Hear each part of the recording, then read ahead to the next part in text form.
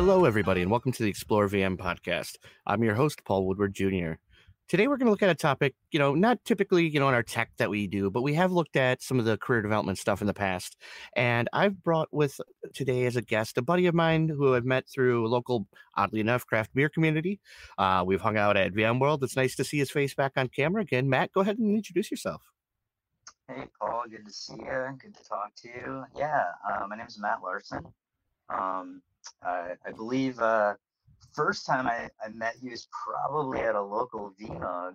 Um, certainly, yeah, we had kind of touched base through some uh, kind of local craft beer uh, social media groups. But uh, I remember you giving a presentation um, at a local VMUG out at the zoo, and I was like, hey, like I know you, and we kind of chatted for a minute, and it's kind of cool to connect on, you know, that uh, that professional level uh, uh, as well. Um, so yeah, that was that was quite a long time ago, maybe wow, uh, more than ten years, right? Um, um it, it's somewhere between five and ten. I don't know for yeah, sure, but it's it's been a while. it's it's been a while, and and like this is actually kind of a cool topic to uh, to discuss with you because I remember at the time you gave a presentation about um, kind of how you were working in an organization and and you weren't really in IT um, but you were interested in technology and um, you had kind of uh, worked your way into it, right? Mm-hmm. Um, and and had you know obviously VMUG, uh, you had had had started to learn some things about VMware, and and I don't remember all the details about what you said, but but it was really cool. And and at the time, um, I was working for a law firm, and I had um, taken all of my my VMware knowledge and kind of brought it there. So um, I started there in 2008. It was a fully, you know, physical, um, old school. there's probably plenty of people now that work in IT that don't even know, you know, what a world like that looked like. But you know, every, right. every server had its own uh, Windows operating system directly installed on the hardware, and every server had its own uh, function, which was which was pretty much one to one for the most part. Hardware each each box did its thing. You could walk into the server room and you're like, that's our email server and that's our other email server and that's mm-hmm. our web server and that's our database server and each uh, each thing was was clearly uh, what it was and and um, so that was that was kind of their environment. They were large enough. They had uh, five five offices, maybe six um, throughout the state. So um, it, it, wasn't small, but as an IT operation, it was um, not a large group by any means. So that was really, really kind of fun for me because um, I got to take them from from that world to, uh, you know, essentially, you know, 99% virtualized by the time I got done. And any in today's world, um, what that was is probably still kind of antiquated. Although I think a lot of small shops are still running in that. Right? They had the SAN and and the uh, you know, the ESX hosts. Um, actually, I think they were ESX and not ESXi at the time. it might have been 3.5, right? Um, and that was great. It was cool. Um, I I worked at that firm for 11 years. Um, really enjoyed my time there. Um, kind of, you know, at, at a certain point you've done everything right? Um, yeah. and i was i was really responsible at the end of the day for for everything at every location. So i had you know if we had to replace a firewall or a switch um, that was me. I had to um, get quotes and figure out what projects we were doing. That was me. Um, i kind of had to do everything um, over the course of time. And and and, and that was cool. Um, and eventually I just kind of got to that point where um, I was like, I've been doing this for 10 years. I know everything about this. and, and that's really satisfying to have kind of built that and have that ownership. But I also reached that point in my career where I was kind of looking for like, oh, what's next, right? Like, yeah, like, uh, like I needed, I needed a new challenge. I'm like, I can't just keep replacing the same switches in the same building every, you know, four years, five years, mm-hmm. um, essentially upgrading the same, you know, uh, core core functions of of of, of the same business. So I kind of needed to expand from there, uh, and and did. Um, so I kind of I moved on to another organization, and it was it was sort of similar in, in size, but um, different in scope. They were a nationally, um, I don't know, yeah, I, you know, they we uh, that trying to think of a so it went from from law firm world to another service oriented type business that did a lot Okay. of um, uh, maintenance on healthcare machines, MRIs, ultrasounds, the, the whole gamut, right? So they had field technicians all over the, the country that were going into to different places. And of course, I didn't have to do that, but um, we had our location in, in Wisconsin, of course, where I was headquartered, but I was spending a lot of time going out to Salt Lake City, Utah, spending a lot of time going to uh, Jeffersonville, Indiana, just across the river from uh, Louisville, Kentucky. Um, and really kind of doing doing a lot of infrastructure updates. It was a a business that had kind of uh, bolted on a lot of other businesses that had done some some mergers and acquisitions of, of like-minded companies over times and that's kind of where it ended right? So like they would buy this other company that had all these different systems um, different active directory if you will different email system and just buy them and say like all right we're the same company now and kind of left it at that. So that was that was quite quite the world to live in you know where where you're you're actively interacting with people and you know you want to uh, send them a calendar invite or whatever it might be and like it, it wasn't really functionally much different than if they worked for a completely different organization. You Right, I mean- diff- oh go ahead. No, I was gonna say, you know, you come from a world where you'd spend so much time in your one office doing like the one thing to now you've got to move around all these different locations spread out across the country not just citywide or whatever or statewide even but you know it's it's definitely a big jump to go from that that routine if you will. Like i would i don't it's i don't want to jinx it for people but you know it doesn't feel like a routine job. Like it's not the same thing every day. You don't know what's going to happen what's um you know you don't know what what's going to break overnight or what patch is going to do whatever. So it's it's it can be steady but not a routine. So to, to, even like break that up into all of these different locations now you've yeah you're dealing with mergers acquisitions it you know it, it gets to become uh, complicated. Yes, yeah, there's you know a whole level of of uh, layers of complication, and then on top of that, um, you know, when you're kind of expected to also support that that layer of complication, right? And mm-hmm. you know, you go into I, I went into uh an office in Salt Lake City and spent uh, basically I was going there in a weekend to replace a an old Cisco 4507 um, and anyone that's that's uh, replaced one of those number one knows that like they probably make a great boat anchor. They're very heavy. They're giant, and uh, I I am sure they were like amazing and, and incredibly expensive at the time they installed something like that.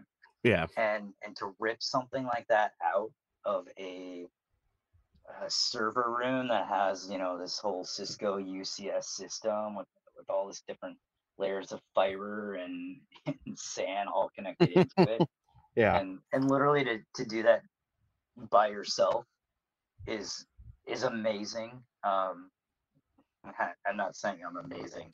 I'm I'm saying it is Right. amazing that like like like you just kind of you're kind of in the middle of it. You kind of get halfway through, and you're like, "What? What am I doing? Like, what? Yeah. like, why is why is anybody? Why would anyone, um, you know, choose to do this?"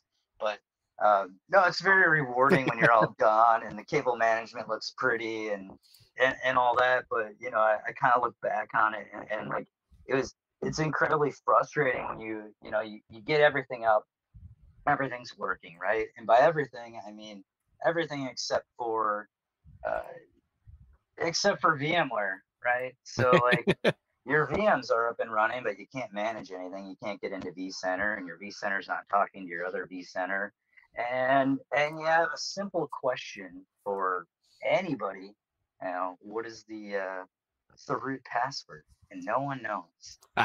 So you know you, you then that that that entails a very uh, lengthy call with you know support call with VMware to resolve an issue like that, um, and does not make for a great weekend type activity.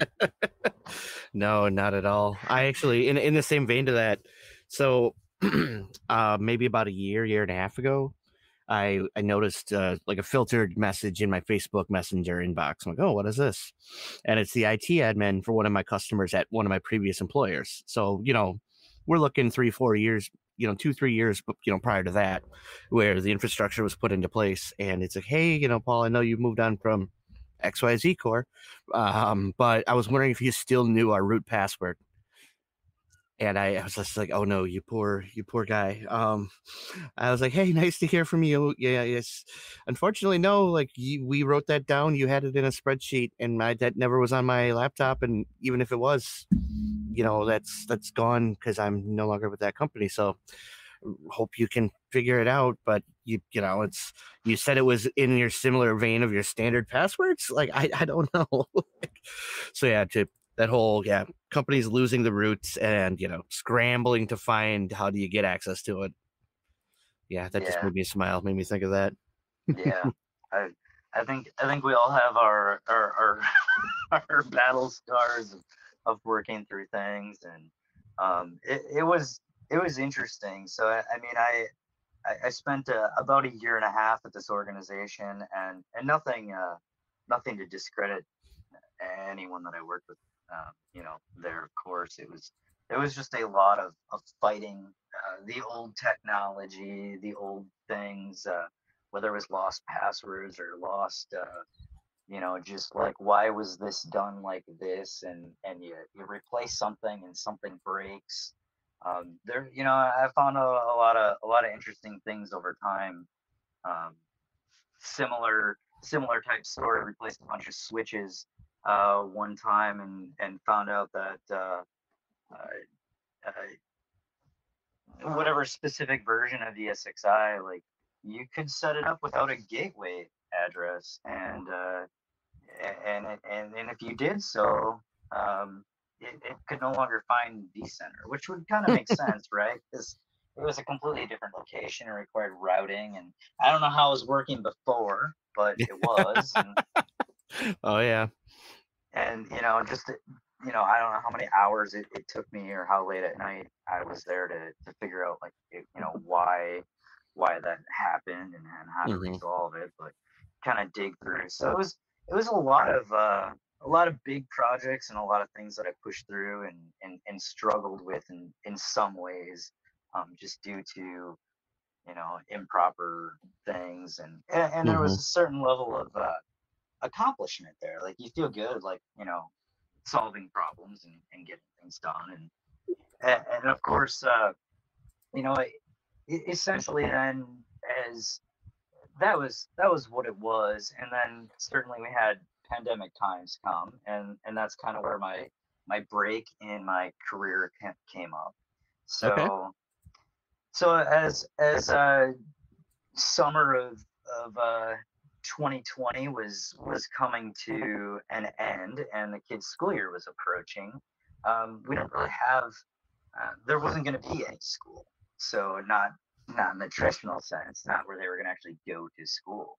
Um, yeah. So all we really knew is that the school year was going to start and it was going to be virtual. And uh, one of my kids was was starting first grade, so he's going to be in school all day, and the youngest one uh, was going to be in a half day. So kind of had this conundrum of we didn't really have anywhere for them to go. Mm-hmm. Um, I had been working at home, uh, like many people, since about March, and kind of was just slowly getting more and more, um, just kind of burned out on that. You know, so so I had been doing a lot of the traveling and a lot of those big projects, and, and those were those were fun and rewarding, and and uh, you know, then I, then it kind of turned into I was just at home. Um, they had laid off, you know, a couple people. Um, eventually, you know, let one go. So it was kind of like I was doing a lot of day to day stuff, a lot of yeah small stuff. So and so can't get their soft phone. Can you call them and help them? And I'm like, you know, yeah, I can. Like, and, and nothing against that person, I'm, you know, or this person. Like I, I knew most of these people. We were on, you know, comfortable terms. It wasn't that like they didn't like doing it, but there's not a lot. Of, after doing 10, 12, 13 years of, you yeah. know, you're swapping out switches and building data centers and, and all that, like helping people with their their their stuff. Just that kind of became my day to day job, and I was like, this isn't gratifying, right? Like, Yeah. I'm not really enjoying it, and there's not really any way I can just sit at home and take care of my children and help them do school and do all these these things that I'm not really enjoying. I, I kind of lost that um that satisfaction of like, hey, like uh, I'm really accomplishing big things and I'm solving tough problems. It was Right. more just like you know tickets, help desk, and and Yeah. some people love that, and and I did that for for a couple years of my life, and I I also I also enjoy that at times, right? Like feels good helping people out, um, Oh, yeah. it's you know donating to your your favorite charity or or helping them helping helping someone get their email, right? Like Oh yeah. Yeah. Absolutely. but it's not it's not uh it's not mental gymnastics you're not solving any big problems and and uh it gets a little old so Mhm. um yeah i just chose you know i just kind of was like you know what i'm gonna just uh i'm just gonna be a dad and and uh it was the best thing that i ever did it was really cool having having the uh an entire school year to spend with my kids who at the time were you know six and six and four um, and to help them through the school year and kind of be their teacher in a, in a Mhm. certain way to guide them through that stuff was pretty rewarding and um, probably the you know the hardest job I've I've ever had um, to to date just because uh, I felt like yeah there's there was that much more at stake maybe Mhm. um, and maybe there wasn't but uh, it was it was it was great so um, the other the other flip side of that is I've always been very interested in security, cybersecurity. Um, certainly as a, as a system admin, as a network person, uh, managing firewalls, you know, running phishing simulations, um, kind of the whole gamut of like being aware of of what security was on on day to day basis um, and user education, but also like kind of the, the nuts and bolts of it, and like um, really just kind of like not just patch Tuesday and like, hey, there's this there's this uh, there's this issue, we need to patch the servers, we need to fix it, but like I would, you know, I would get those emails and I'd read them. I'd be like, oh, what is what does this mean? Like, what is Mhm. a what is a buffer overflow? Like, how do you like how do you exploit that? Like, and, and and like to be able to take the time and really dive into those things um, and understand them there's there's kind of this uh, i feel like for a lot of people especially people in tech people that came from the type of background i did where you're you're just you're building things you're setting things up um, hackers term hacker um, kind of conjures this like dark um, or or sometimes a lot of times like this uh um there's kind of this dichotomy where it's either the script kiddies that don't really understand what they're doing but they know how to download and use these tools or Yeah. the or or the extreme opposite where it's just like these these geniuses that that that can do amazing things that are reading ones and zeros um, or something, you know, just Mhm. just wild. And like there are those people, no doubt. There there are some incredibly amazing, intelligent people that are that are figuring out how to break things. Um, and I think for the most part, they're probably getting paid by you know nation state actors and and, and they're well funded. Um, and, and there's a whole lot in the middle, and that was was was where I was. Uh, I spent a lot of time, and it was very fascinating to me. So I knew that as I kind of dove into it and started to learn more about like, okay, how do these tools work? How do you do this? Like, and it, it's really fun. It's not. It, it's really entertaining to the point where, um, I mean, the last time I went on vacation before I started working my job, I had thrown a, a VM of, of Kali Linux um, on my laptop and a VM called Metasploitable.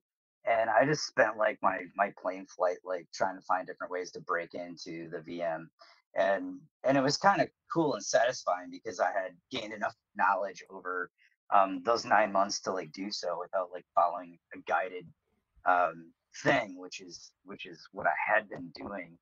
Um, and it was kind of fun. Like I, you know, I'm not doing anything crazy. Uh, and of course, like these things are built to be broken and built to be yeah. broken into. Um, but it's still it's still interesting to to to like um, see how it actually works and realize like at, at a certain point it's really kind of simple. It's not that much different than learning how to uh, do anything else with a computer, right? Some people learn how to make amazing artwork, and some people learn how to break into computers. And and kind of like seeing how that that worked and kind of stripping away the, the black arts and the, the magic out of it was really fun and fascinating to me. um, I have a I, I subscribe to a couple different websites. Uh, someone had led me to Cybrary, um, and they had some labs built into their stuff. Um, but there's one called TryHackMe, tryhackme.com. Um, okay. And it's pretty inexpensive. I think it's like $6 a month and everything's web based. Um, and when you, you, there's there's free versions too, right? So like you can do it for free, and you have a certain ability to to do stuff. So you can fire up your own VM and VPN into their network, and and they have these different uh, rooms they call them. But okay, I found it really really worth like the the money to to dive in, and I was like, man, I would have loved this stuff when I was a kid. yeah. know, I, I probably would have just like been doing like up all night. well, and eh, looking at it like that, you know, you said you'd have loved it as a kid. Eh, I mean, I have to imagine, you know, learning hacking and doing all that stuff and getting into the weeds like that, seeing how to break it is no different than a kid taking apart their stereo because they want to see what the like the pieces look like inside and how it works, or you know, disassembling something expensive that they're never gonna be able to put back together. Yeah, I, I completely agree, and I, and I think uh, you know I think I kind of came from that mindset for sure. I mean, uh, you know, I first computer I ever got in my life didn't have any kind of uh, connection. I'm an I'm an old man. Um, you know, I, I think I got my first computer in 1994. Um, maybe it came with a modem, maybe it didn't, but I, I distinctly do remember um, buying my first uh, you know, modem, PCI card, whatever. Uh, maybe it was even ISA. but I remember, you know, having to having to peel the sticker off to remove the case um, on the Packard Bell uh, desktop to to put the new modem in and, and, and all that, and like that was that was kind of like the beginning for me. Um, and, and it, so it's kind of been a slow escalation, and I think that's that is kind of it. It's kind of a it's kind of a throwback to like how do these things work and like understand how they work on a, on a software level. I know how to install software and how to put these pieces together, but there's kind of so much at this low low level, um, and we're just constantly you know inundated with like, hey, there's this new flaw and this new flaw and like these patches and and I feel like sometimes like you know as, as administrators it can just be fatiguing, um, but it's real um, you know, mm it's incredibly important to keep doing this stuff, and and I think I was kind of inspired. So like, yeah, there's you know, there's there's red teamers, there's people that kind of just do this stuff, um, you know, as their day job, right? They're they're hired right. by organizations to to try to you know find the flaws and and and break in, and I kind of realized like I wanted to know how to do that, um, but I didn't really want to do that because um, I, mostly because it sounds really difficult. right. Um, and, and, I and, and, not not that I'm lazy, but like I'm really really impressed by um, the skills that that those people have to constantly be updating. Right. Um, they're they're always like, what's new? What's next? Um, they have to be right because as things evolve, like they have to be on top of it. They have to be able to go into organizations and say, like, hey, this this thing you installed last year that you haven't updated, like, uh, mm, this is how we're getting in. Um, yeah. Or, or, six months ago, or whatever it might be. Like, um, they have to be on top of that game. And I think just understanding um, all of that and and kind of being able to to wrap around it and work in an organization to kind of help uh, bolster the defenses, if you will, um, to be able to talk the technology, to be able to understand uh, what's going on was was kind of my driving force. So um, I did uh, I did take both the uh, CompTIA Security Plus exam, which I will say is as someone who had you know over a decade um, in IT, especially Yeah. systems and network administration, none of the material was new. Um, being able Okay. to being able to like memorize and decipher a lot of the differences between the some of the the, the details and the technology was definitely new, right? Like I don't know that I would have off the top of my head uh, before I started preparing for it or looking at the material, been able to tell you uh, which uh, you know the difference between the different cryptographies as far as which ones were asymmetrical and which were symmetrical and and some of those those real uh, nitty gritty details and Okay.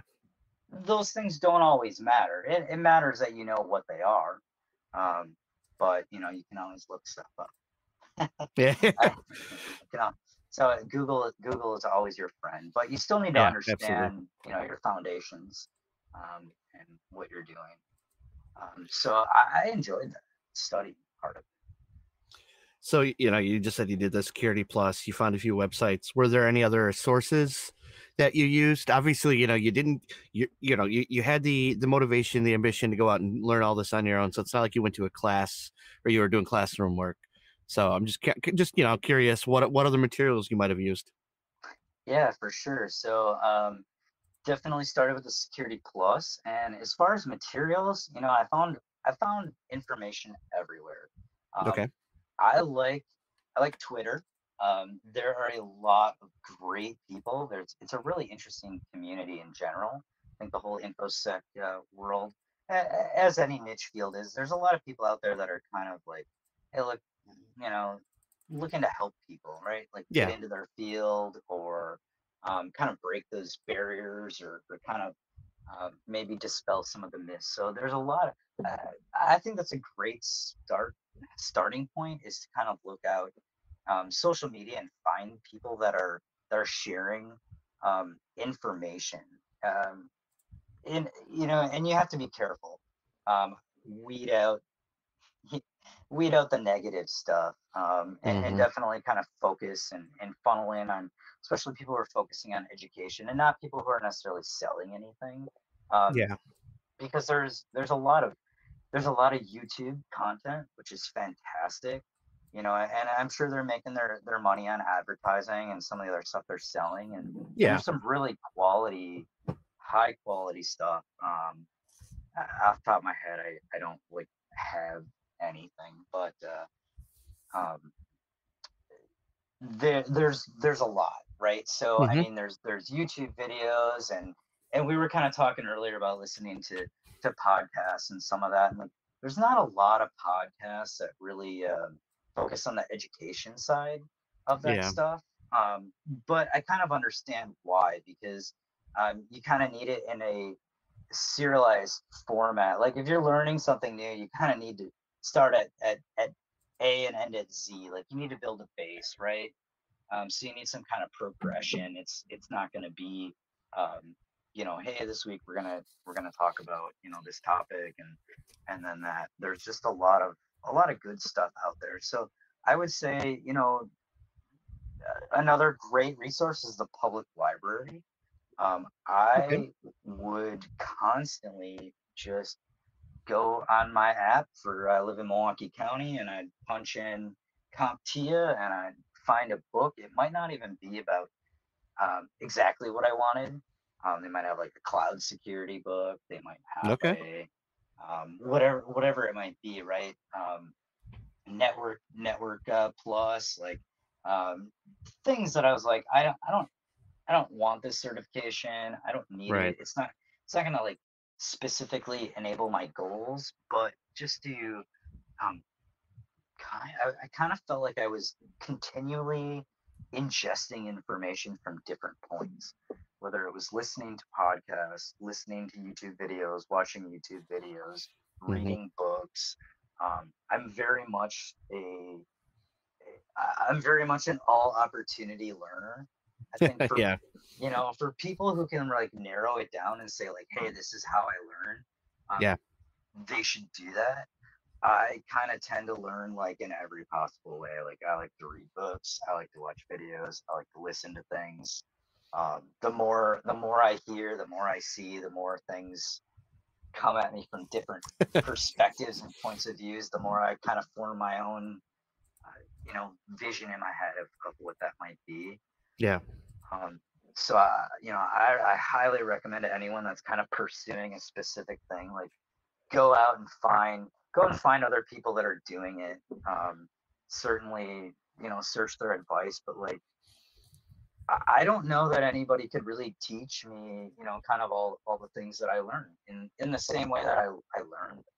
And of course, like when you get on a job, like everything's different, right? When you're, when you're in the mm-hmm. workplace, um, it's, it's not so much like you're learning this stuff and then you're going to go and do it. And it's the same with like any, anything I've ever done in tech. Like I've never been in a classroom where someone was like, "Oh, this is how you do this," and then you go and sit at your desk and you're like, "Hey, I know how to do this." it's it's more someone shows you kind of a classroom perspective of like, this is the software, this is how it works. Um, this lab, you know, you can walk through all these different steps and you can set up, you know, stand up your own server that does this and that. And you're like, cool. Um, mm-hmm. Now I know how to do it in a lab environment. And then you see it in in, in the real world, um, and, it oh, all kind of clicks then, right? It all kind of comes together. But you're not going to just go through a lab on, you know, standing up a, a new center and then just walk into a brand new, you know, organization and, and do everything right. right. I, you know, I'm gonna self shame a little bit here. So, I, I'm in a a, pre sales role now, so I'm not actually as like hands on as I had used to be. Um, and I was I was actually kind of like sad. I kind of was losing that. So I went out this this past summer and I bought a home lab. And I, I keep looking over to my right at it. I'm admiring it. Um, so I went out and I bought a home lab, and I'm like, well, and it's going to benefit my my my nine to five job. It's going to benefit me here with Explore VM, where I can make videos and like you can contribute some of that content to the community on like how tos. I had to blow it up and start over fresh because I was messing up so many things when I was configuring ESXi and like vCenter. I'm like, how did I forget so many of these things? I was so embarrassed. I'm like, why is this not working? And it was just the dumbest stuff, like the wrong VLAN on a host. I'm like, are you kidding me, Paul? Like, so there was, it was just like, oh yeah, this is this has been far too long.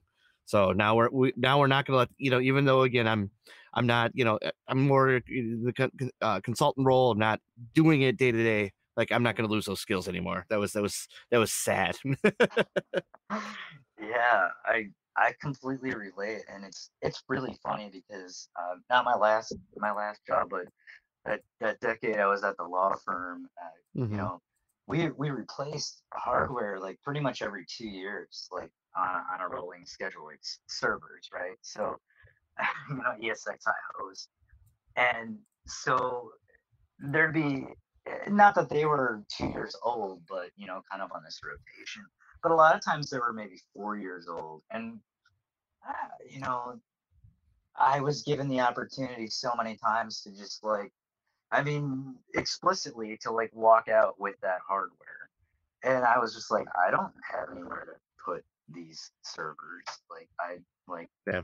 you know i, I just i'm like i don't have the space for it i don't have like I, i'm like and then yeah you know two years two years later i'm like man like I could really use that hardware. Like, I, like, because, because, like you're saying, like, I, I don't, um, I don't really do that now. Um, and and maybe that's what I'll, maybe that's a great segue. So, so I had all yeah, this time, yeah. I, yeah, I had all this time off, um, and I was, I've always been fascinated in the, the, the infosec or cybersecurity world.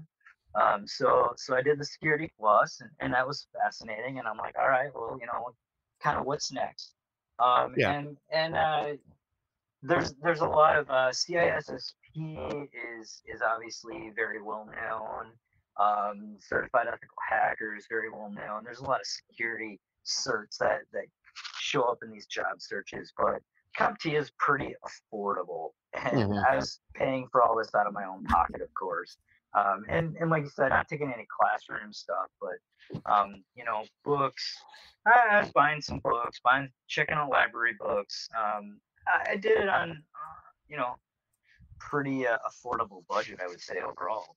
Um, and the next one I did was called the Cybersecurity Analyst, or, or CISA or CYSA Plus. Um, so I got that certification, and that really kind of solidified for me that that was what I was interested in, right? Just kind of uh, the the analysis side of things, and and it kind of uh, kind of pushed all the right buttons for me, where I felt like I could use all of my knowledge of, of how networks work, of how servers are built, of how all these things uh, come together. Um, Mhm. but I didn't necessarily want to do that anymore. So after not after after stepping away from it and and kind of changing jobs and then and then not having um, you know a, career in tech for for that year, I was like, I don't I don't really want to go back to doing the same. Um, I kind of want to kind of want to build on that and kind Yeah. of uh, kind of work into work my way into this security sector so so so I did that, and um, as as the school year was approaching, started started searching out and and uh, found myself uh, in another law firm, uh, significantly larger organization, and I think you know I, I kind of targeted it. Um, I I knew at least one person who worked there who I'd worked with previously. Um, they were not in technology whatsoever, but um, just kind of had that comfort of like, hey, you know, uh, wh- what's this organization like? You know, do you like working there? And and you kind of get that that good feedback. But also, I think a lot of people who've who've worked in uh, certain industries just kind of know like they all have their niche um, pros and cons, right? So I'm sure that I could probably spend all day complaining about working in in the legal world, but no, actually, obviously, I wouldn't have gone back into it if I didn't like it. Um, Yeah. So it's it's really interesting um, to go from uh, working in technology for companies that had five or six people in their entire Yeah. department and like 200 people in the, the entire organization um, or and and really I've kind of kind of lived in that life for a long time. Even in organizations I worked for that had thousands of people, they weren't people that used computers, right? Um, or if they did, it was like, okay, they you know they weren't using a computer is more of like a thin client to like an AS400 in a warehouse or something along those lines. Um, whereas like now, um, I work in a in an information security department, which is Yeah. you know reports up to a CISO, Chief Information Security Officer, um, which is ten people. So so the security department alone is essentially twice the size of the entire technology groups that I'm used to belonging to Yeah. so we're just dedicating you know our entire life all day long um, as as uh, and my official job title is security analyst um, i spend a lot of time uh, working on grc which is governance risk and compliance Hmm. um, Thank you. I was going to ask what that stood for. yeah and as as as boring as this analogy sounds i kind of equate it to like the accounting or the auditing accounting side of like technology in a business Okay. right so um there's just a lot of like uh, uh of course like some organizations um healthcare organizations, everyone knows about HIPAA these days, right? It's Yeah. like it's like the it's kind of become a joke to some degree. like, hey, I can't tell you that HIPAA. Well, of course, you know, right. But does, HIPAA doesn't apply to what you want Yeah. to tell people. Tell people about yourself, but um, you know, everybody knows that healthcare organizations have have HIPAA. Um, I think most people in technology that have ever worked for a public company know that SOX or Sarbanes Oxley is compliance that uh, is required for for public companies. Yeah. Everyone who's ever worked for banks knows that uh, GLBA um, is you know another another thing they have to meet. And then um, of course there's ISO standards. So um, one of the big ones that that I know uh, we currently comply with and are certified is the ISO uh, 27001, right? Okay. Um, that's pretty common um, around the world. It's a, it's an international standard, and really it's just a framework um, similar to like uh, you know in the United States NIST has like the 853 I think is the cybersecurity framework. Okay. And, and for people who aren't familiar, like frameworks are are really generic, right? So they have they have all these categories. They don't say like, hey, you need to have you know this firewall and it needs to be configured in this specific way. Um, this is um, more like, are you doing these things, right? Uh, do you have these policies in place, and and and and how do you what procedures and what documented um, things you have to follow these policies? So a lot of the things that that my kind of life revolves around is is that um and it's uh, i don't know it's interesting it's different right Yeah. so and instead of instead of me logging into a firewall and and making changes or um, allowing things or blocking things i'm kind of like going to the firewall people and saying like hey like uh you know are you guys are you guys following this this policy or this procedure um, maybe Okay. that's not maybe that's not quite the way maybe that's not quite accurate trying to trying to think of a better way to phrase it um, Okay. Yeah so got a little long-winded there um, Oh, it's quite all right. Re- rewind and reset me a little bit No, it's all right. I, you know, I let my guests go when they're talking. So, question I have, you know, as you get back into the into the field or get back into the you know the world, did you? How hard was it, given like you're changing your focus? I mean, you you come with a, a dozen plus years of experience in the law firm, so that that kind of makes you stand out when you apply to that specific location. But did you get blowback because you were uh, uh you know uh, the data center guy? Now you're looking at security, or were you were was your background coupled with what you had you know done on self training sufficient? Yeah, I think uh, I think what was kind of interesting about it, especially for this this specific role, um, and, and kind of like you know, uh, maybe the appeal for me and and uh, certainly I can't necessarily speak for them, but maybe the appeal um, for what I brought to the table was really just kind of like that that broader, deeper understanding. So Okay. you know, I kind of have I kind of have the ability to to talk to the the network guys, for example, right? And I and I I understand what they're telling me when they say, uh, yeah, you know what, these switches in Tokyo that are um, have this vulnerability that you're telling me about are, are are out of date. But we've been really working hard on these other projects to replace these SD WAN devices. We've been working at midnight, you know, two or three times a week on this, and and we just haven't had time to either update the the firmware on these switches or to replace the hardware that's that's waiting. Um, and I understand that, right? I've been Yeah. there. I've managed my time um, as a network admin, as a system admin. So it's not just like understanding the technology; it's also understanding where people are coming from and what their job is like. And I think that maybe maybe no one really necessarily explicitly knew that I would understand that. Um, but I feel like it kind of gives you a little bit different perspective. Um, and, and that's something like I really find kind of fun now. So like one of the one of the things that I'm highly involved in is vulnerability management, right? So um, we have you know scanners and agents on basically everything in our environment reporting back to this dashboard and we have uh, you know regular meetings with the different groups of people in the organization so you know i meet with the the network people we meet with the Yeah. video conference people um, whatever it might be and and so you know I- i'm in a meeting with you know someone and I'm like, all right, look, uh, we have this this critical vulnerability on this switch.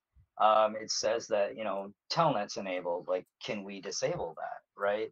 Um, and not only do I know what that that means, um, but like I I kind of like functionally understand like uh, you know what's involved with logging into a switch and turning off telnet. Like that's easy, right? I, I, yeah. like I, I know I'm not asking them to do anything like extremely time consuming, but it's also something like like uh, it's a big win to do those small things. Like, hey, this is this is a, a protocol that we should just not allow. No one should be using it. Um, it, it gives us risk that is not acceptable and not necessary. So let's do that one. Um, by the way, there's this new vulnerability in this, you know, Cisco IOS and the switch we're running here. And they're like, well, you know what? We already have a brand new switch. It's going to be replaced, you know, as soon as possible. But, you know, we can't do it tomorrow because it's on the other side of the, the world or whatever it might be. Right. And, and, and you know, and I kind of have that, like, uh, I have that knowledge to understand those things. And, and I think so, I think there's a lot of value there I don't think taking time off really, uh, you know, fortunately, maybe in normal times it would have looked bad um, to just say like, yeah, I just decided to like hang out and you know, I you know take care of my kids for a year. It, it shouldn't, but I, I you know I understand um, pre pre pandemic or outside of extenuating circumstances, people don't always uh, you know the, the you, you're looking at someone's resume and you're like, well, are they are we going to hire them? And like two years later you know they're going to learn they're going to come in and and you know be val by the time they're like extremely valuable they're just going to be like ah, i don't really want to work for a year now. Yeah. Um so i think no i don't i don't think anyone looked at it as a bad thing. Um, yeah. unfortunately I, I think i was able to sell it as a positive um, just kind of you know as as something I did for positive reasons. Yeah, and I yeah. And, and I truly did, you know. So um, that that was useful to me. So you know you've got quite an interesting story. Now, if you were to look back on everything we just spoke about, um, and pick out maybe two pieces of advice, like if you know, just to really drive home, so anybody considering making the changes, um, anybody trying to self-educate, what what would you recommend? Yeah, I think the big takeaway is um, definitely pursue the things that that you're most passionate about and that you're interested about because if you can spend if you can spend hours and hours essentially if you have the luxury like i did to to spend you know the equivalent of a full-time job um, learning something and by the time you've learned enough about it um, that you feel like you, you've gotten some value out of it that you could bring that value somewhere um, you know you're going to be in a pretty good place because you obviously put that time in for yourself now you know if you're just kind of doing it just because you're like hey i can probably get a, a decent job and, and make some money and you're trudging through it mm-hmm. and you're mm-hmm. not enjoying it it's probably something maybe you should rethink um, and especially in technology, there are there are so many different avenues out there. Um, yeah. I mean, I, I work with people in security that are so technically intelligent. Um, I, I just feel like I feel dumb when when they talk to me. It's amazing. Like like I love I love that, right? Like um, I love being around those people, and and at the same time, um, you know, I, have worked with, with other people that um, don't necessarily have a lot of deep technical skills. Maybe maybe they're uh, you know a manager or or a project management, and mm-hmm. they still like they still really enjoy the topic. Like they like working around it, um, but diving into those details just really isn't their thing. And and and like zero disrespect to those people because they're filling a very important role so yeah. I think I think my my best advice is, you know, find what what kind of drives you, what makes you tick, if you will, um, and just kind of like consume as much of it as you can. Like, um, I, I feel like I became a little obsessed with it. Like I was kind of like eating it, dreaming it. Um, Yeah. And and then once I got into it and started doing it, like I kind of could back off that a little bit, right? Yeah. I get to go into work. I get to enjoy it. Um, I really like what I do, but then I kind of get to step away, come home, enjoy my time with my family, and wake up and go back and and kind of do that again. It's it's uh it's been a positive experience for me. Well, that's good. It, that's, you know, sage advice to a lot of people. You know, be sure you're doing what makes you happy. I've been in, I've been in positions and roles where it's just been unpleasant or you know, just bad for my mental health, and I, I, I will agree fully. You know, you might have to jump around a little bit. You might change your fields. I, you know, like you said, I, I told my story. You know, all those years ago, I was uh, in manufacturing for nine years. I was operating a forklift in the CNC press and I mean, it paid well. It was a stable job, but it was just not making me happy. It was just not where I wanted to be. And, you know, took took took the risk, rolled up, you know, rolled the dice, changed careers, and it's been amazing. So I think that's I think that's good advice. Yeah, that's that's fantastic. I mean, truly, I I still remember. I kind of I remember you you talking about you know kind of your your origin story, if you will. And uh, yeah, yeah. it, it was it was inspiring. It was. I mean, I was already working in tech, but um, I, I thought it was it was it was great, and that's kind of why when you wanted to talk about this, So I was like, that's perfect. That that's a great great thing to discuss with you. Yeah, absolutely. And again, I, I thought you've got a good story to share. Might be what the, you know somebody needs out there to you know make their change as well. So I want to say you know thank you uh, for your time. You know it's stepped away from your family to record with us. So I, again, I appreciate that. Yeah, for sure. Always, always great. Hope to see you in person sometime soon. Absolutely. And thank you for listening. If you'd like to continue the conversation around today's topic, have an idea for the show, or would like to be a guest on the Explore VM podcast, please reach out to me on Twitter at ExploreVM, email me, paul at explorevm.com, or on facebook.com slash explorevm. Also, check out my other shows the Blocks and Bites Grilling and Technology Show on YouTube. And if you're into stocks and learning about investing, give the Money Badgers Associates a listen. And as always, once again, thank you for listening.